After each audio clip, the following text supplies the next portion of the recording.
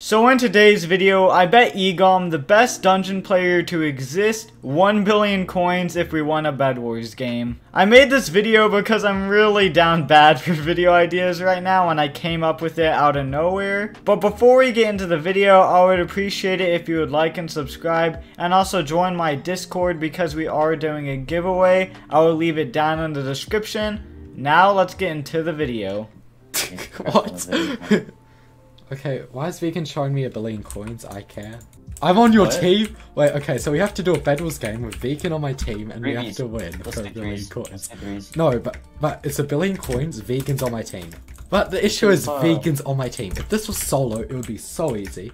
I can go bridge with like an auto clicker on single player. This guy doesn't know that I'm literally finna kill him. I'm I'm just gonna like play it really safe because I feel like Vegan's gonna either sabotage me or is going to just be useless. First off, our bed's gonna get broken, which is good. All I gotta do is just destroy the bed. Wait, have we already got people incoming? Oh, potato. Oh, I think we've already lost. Yeah, let's go. We've already lost. I'm gonna burn to death. Okay.